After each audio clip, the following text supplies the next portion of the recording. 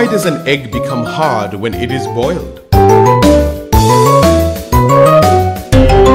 Snake, let's open our lunch boxes quickly. I have got chicken sandwich for lunch today. What about you? Boiled egg sandwiches. Yum! I love boiled eggs. Snake, do you know why eggs change and become hard when they are boiled in hot water? No, but that is a good question. Let's ask Professor, but let's finish our lunch before that. Good afternoon, kids. You finished your lunch so soon?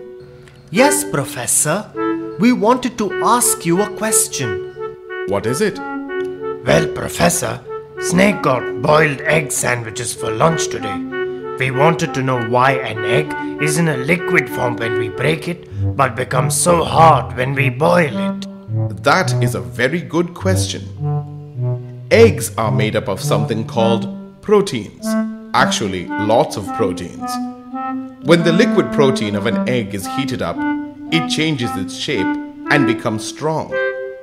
It then forms a chain with all the other protein around it. This is what we see as a hard boiled egg.